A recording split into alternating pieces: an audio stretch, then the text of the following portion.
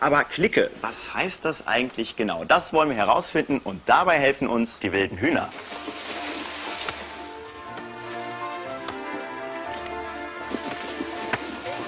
Super. Ich dachte, mit den neuen Kontaktlinsen würdest du besser sehen. Trude würde sich doch am liebsten noch Rickys Taschentuch einrahmen, wenn er eins hätte. Hi, Wilma. Hi. Was hast du mit Ricky? Er sollte eigentlich Lysander spielen, meine Liebhaber. Aber er ist leider total unbegabt. Jetzt hat ihn für Rosa als Beleuchter eingesetzt.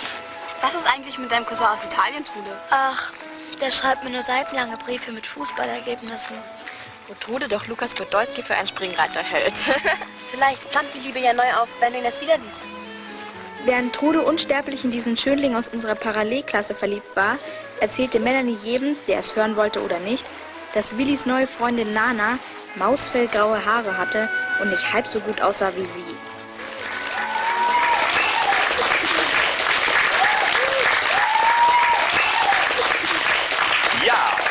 Uns hier im Studio sitzen jetzt Sasa, Paula und Lucy, die derzeit prominenteste Mädchenklicke Deutschlands. Und Sie sind Mitglieder davon, die wilden Hühner. Wie toll ist es denn jetzt eigentlich, so ein wildes Huhn zu sein?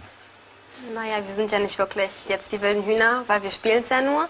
Wir sind schon total gute Freunde jetzt dadurch geworden, aber eine Clique oder eine Bande sind wir nicht, weil wir wohnen auch viel zu weit auseinander. Aha, das heißt, im wahren Leben geht man sich aus dem Weg. Nein, wir halten auch, wenn wir weit auseinander wohnen, halten wir trotzdem Kontakt und telefonieren so oder chatten. Und wenn wir halt ein bisschen näher beieinander wohnen, dann treffen wir uns schon mal.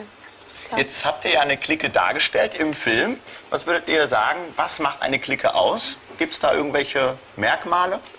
Also, dass man zusammenhält und dass man mm, den anderen respektiert und also, dass man einfach so zusammen ist und das, also einfach gute Freundinnen.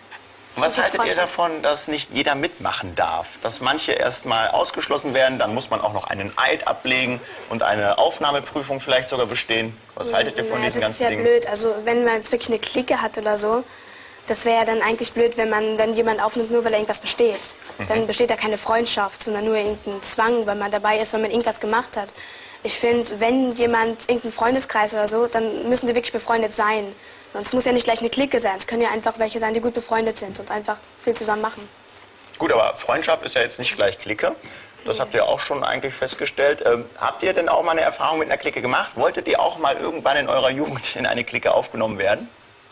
Naja, nicht wirklich. Also in meiner Grundschule waren wir sowas ähnliches wie eine Clique. Eigentlich alle meinten immer, wir wären eine Clique und alle meinten immer, wir wären voll arrogant und haltet euch bloß fern von denen, aber eigentlich fanden uns alle voll cool und wir wollten das irgendwie gar nicht. Wir waren halt einfach nur befreundet und wir waren komischerweise alle blond.